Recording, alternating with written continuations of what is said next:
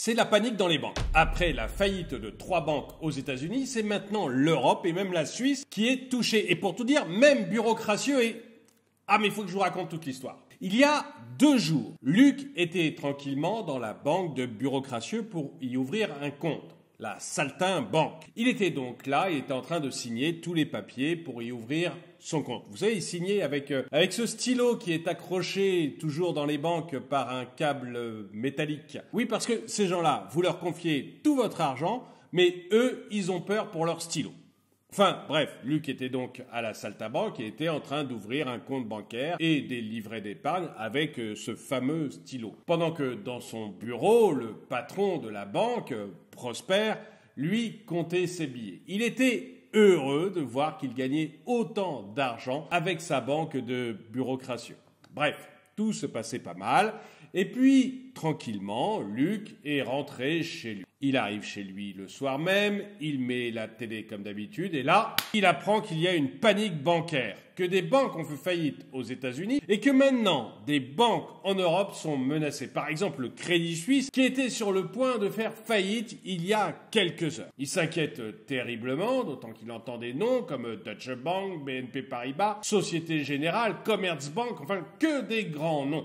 Et lui, forcément, il s'inquiète pour sa petite banque de bureaucratie. Autant vous dire que quand il est allé se coucher, Luc n'en menait pas large. En fait, il faut bien dire qu'il a eu beaucoup de mal à s'endormir. Il se retournait, il n'arrêtait pas de se retourner dans son lit en portefeuille en pensant à son argent. Bref, il était plus qu'inquiet. Et le matin, mais dès l'aube, dès l'aube, il a foncé dans sa voiture et avec sa voiture, il a foncé jusqu'à la banque de bureaucratie. Là, la banque était encore fermée, mais il y avait déjà une file d'attente. Beaucoup de monde s'inquiétait pour son argent à bureaucratie. Est-ce que la Saltimbanque allait tenir cette fois-ci? Dès l'ouverture des portes, Luc et tout le monde s'est rué à l'intérieur de la banque pour demander son argent, pour être sécurisé. Et là, on peut dire qu'ils n'ont pas été sécurisés du tout.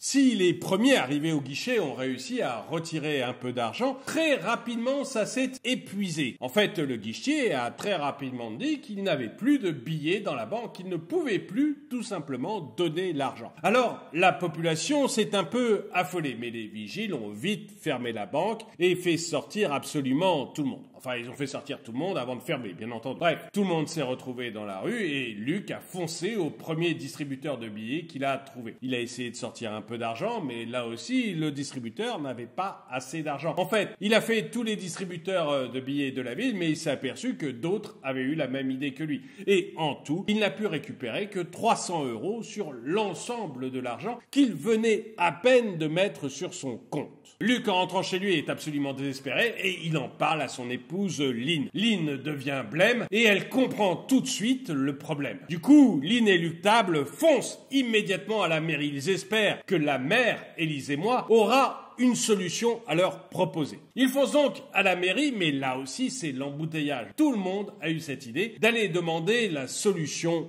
au maire. Après tout, on élit une personne, on espère qu'elle va réussir à s'occuper des choses graves. À la mairie, Élise, elle, est plus qu'embarrassée. Élise et moi, certes, elle a été élue par la population, mais alors des problèmes bancaires de cette taille-là, elle ne sait pas du tout comment elle peut les gérer. Et Elise sent bien que si elle ne trouve pas rapidement une solution, la population risque de très rapidement s'énerver. Et la dernière fois que les populations se sont énervées, ça a fini par des têtes au bout de pique. Bref, Elise est très motivée pour trouver une solution. Et elle appelle immédiatement Prosper. Prospérité, le patron de la banque, rentre par la porte arrière de la mairie et commence à discuter avec Lynn. Lynn veut absolument qu'il rassure la foule. C'est absolument nécessaire. Qu'il lui raconte n'importe quoi, peu importe, mais il faut que la foule soit rassurée. Prosper euh, réfléchit 3-4 minutes et puis sort sur le balcon pour haranguer la foule. Élise présente Prosper à la foule et Prospérité commence son discours. Il dit qu'il a trouvé un investisseur, que tout est résolu et qu'il n'y a plus aucune raison de s'en faire. Son investisseur, c'est Hakim. Hakim Embête, c'est un riche saoudien qui a fait fortune dans le pétrole comme tout le monde dans ce pays-là. Bref, Prosper dit que Hakim va tout résoudre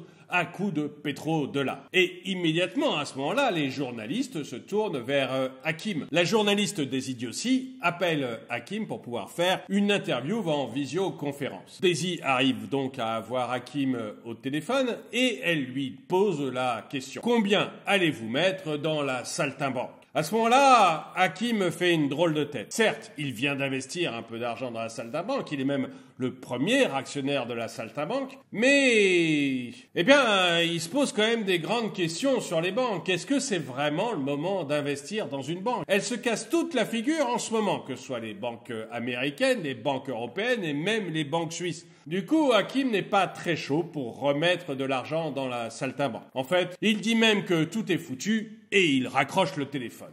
Prosper, qui regardait la télé, devient blême. Il va devenir la risée du monde des affaires. Lui, prospérité, il peut pas le supporter.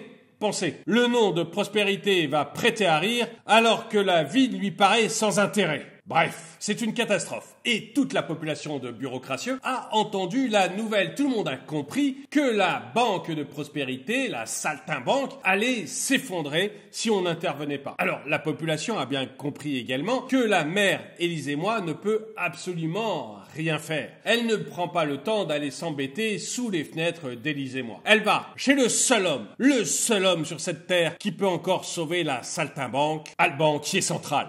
À le banquier central, eh bien, lui, il dort euh, tranquillement dans son lit, mais il entend la foule arriver et le réveiller. Alban, il a une idée relativement simple. Tant qu'on ne le réveille pas, c'est que tout va bien et il dort. Mais quand la foule le réveille, c'est qu'on a vraiment un énorme, un énorme problème. Encore en pyjama, Alban appelle immédiatement Prosper et lui demande ce qui se passe. Prospérité lui dit qu'il a un problème de trésorerie, il lui manque quelques milliards. Alban réfléchit un peu et décide de créer de l'argent magique. Ça, c'est le pouvoir personnel d'Alban. Il peut créer autant de billets qu'il veut. Certes, derrière, ça crée beaucoup d'inflation, mais là, le problème, c'est de sauver la banque de Prospérité. Alban ne peut pas faire autrement. Il crée donc de l'argent magique qu'il prête à prospère et retourne se coucher avec quand même un problème dans le coin de la tête. Est-ce qu'on va pas encore créer de l'inflation? Dans les jours qui suivent, Luc est plutôt soulagé. Toute la population d'ailleurs est soulagée. Luc,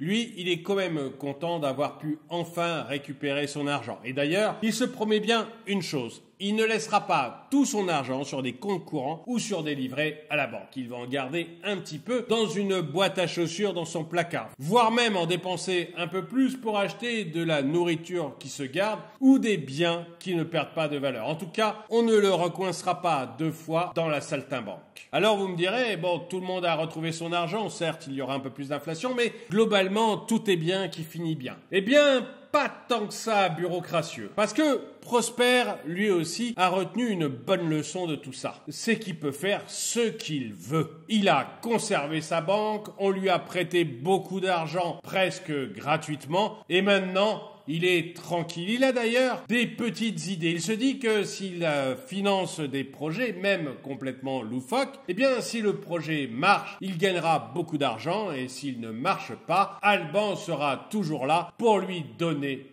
de l'argent. D'ailleurs, Prosper a une nouvelle idée d'investissement. Un investissement dans une petite entreprise qu'il a trouvée qui fait des films pornographiques équitables. Une partie des bénéfices est redonnée à des anciennes actrices dans le besoin. Eh ben oui, c'est pas parce qu'on fait dans le pornographique qu'il ne faut pas utiliser d'argent à de meilleures fins. Mais vous, qu'est-ce que vous en pensez? Est-ce que vous pensez qu'Alban a bien fait d'aller sauver la saltimbanque comme il l'a fait? Est-ce que vous pensez que ça ne va pas inciter des banquiers comme Prospérité à dépenser encore plus d'argent n'importe comment? Dites-le moi dans les commentaires. Et puis, est-ce que vous, vous avez peur également pour votre banque? Est-ce que vous redoutez une faillite bancaire? Dites-moi tout ça dans les commentaires. Et le dicton du jour, vite fait, mal fait, mais fait quand même. Merci d'avoir regardé cette vidéo, mettez-lui un pouce vers le haut, commentez-la, partagez-la. Merci à tous ceux qui soutiennent la chaîne et je vous dis à très bientôt.